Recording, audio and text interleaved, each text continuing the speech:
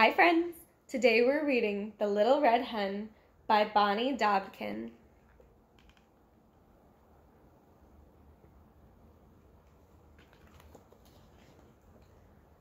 Once upon a time, there were four friends who lived together in a barnyard a dog, a goose, a cat, and a little red hen.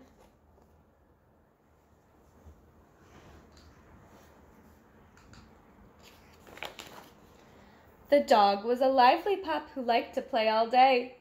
After all, he said, who will chase balls and do tricks if I don't? The cat was a handsome animal who liked to groom himself. After all, he said, who will take care of my good looks if I don't? The goose was a talkative bird who liked to gossip. After all, she said, who will share the news of the day if I don't? And the little red hen, she just liked to figure out what she needed or what needed doing and do it.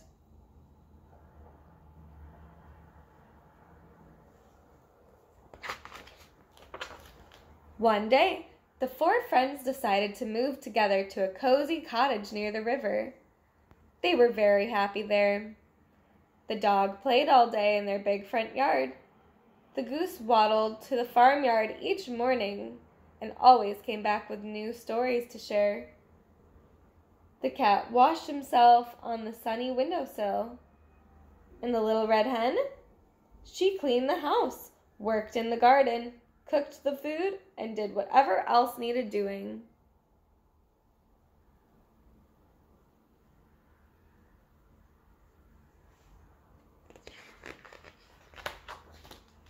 One afternoon, the little red hen swept out the shed and found a bag of wheat seeds. Excited, she brought the bag back to the cottage. Look what I've found, she said. Who will help me plant these seeds so that we can have wheat to bake some bread? Not I, said the dog. I have to play with my stick today. Not I, said the cat. I have to groom my fur today. Not I, said the goose. I have to talk to the cow today.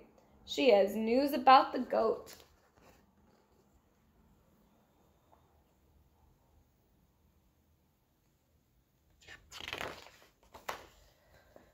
All right, said the little red hen.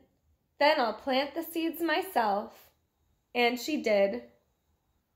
She hoed the ground and planted the seeds and watered them well and pulled out the weeds.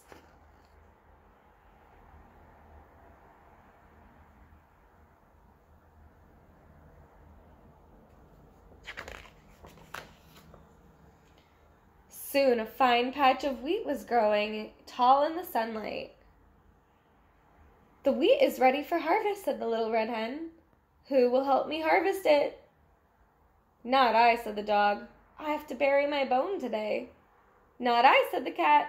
I have to smooth my whiskers today. Not I, said the goose. I have to visit the pig today. He says there's a scandal with the sheep. All right, said the little red hen. Then I'll harvest the wheat myself. And she did. She cut the wheat, then gathered and tied it up in bundles and that she stacked outside.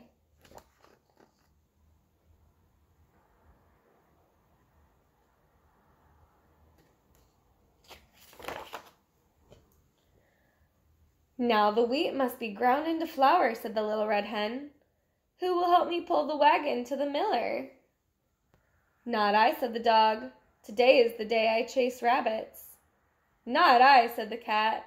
Today is the day I clean between my toes. Not I, said the goose. Today is the day the goat said he'd tell me a secret about the cow. All right, said the little red hen. Then I'll pull the wagon myself. And she did. She cleaned the wagon and loaded the wheat and went to the miller's down the street.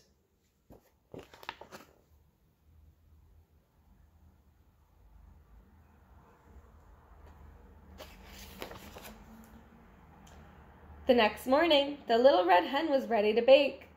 Who will help me make the dough? she asked. Not I, said the dog. I'm busy chasing my tail. Not I, said the goose. The dust might make it hard for me to talk. Not I, said the cat. The flour would muss my clean fur. All right, sighed the little red hen. Then I'll make the dough myself. And she did. She gathered up eggs, milk, yeast, and flour and mixed and kneaded for nearly an hour.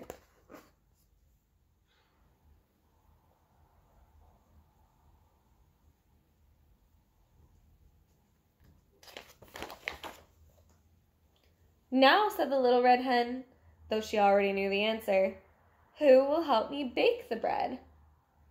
Not I, said the dog. It's time for me to take a nap. Not I, said the cat. I really must be getting my beauty sleep. Not I, said the goose. I absolutely must rest my voice. All right, said the little red hen. Then I'll bake the bread myself. And she did. She built the fire, a difficult chore, and slid the pan through the oven door. She cleaned the mess that the baking had made, and finally went out to rest in the shade.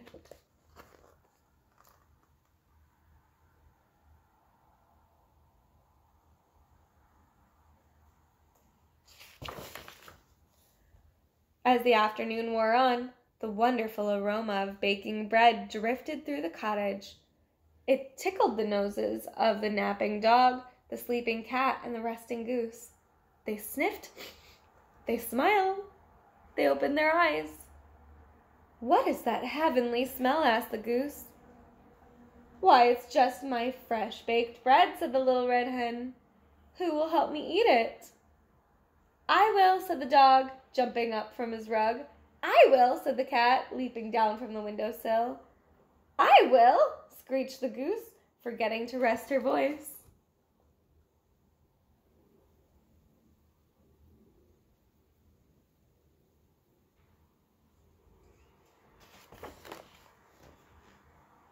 You will? asked the little red hen.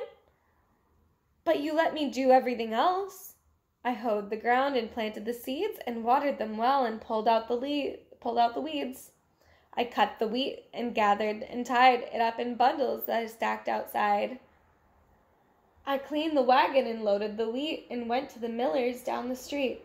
I gathered up eggs, milk, yeast, and flour, then mixed and kneaded for nearly an hour. I built the fire, a difficult chore, and slid the pan through the oven door. I cleaned the mess that the baking had made, and then, only then, did I rest in the shade. So, do you know what? I think I'm going to eat this bread myself. And she did.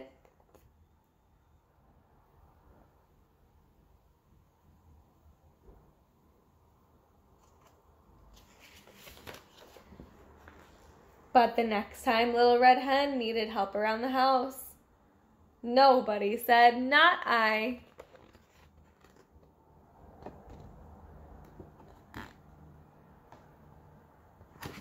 The end.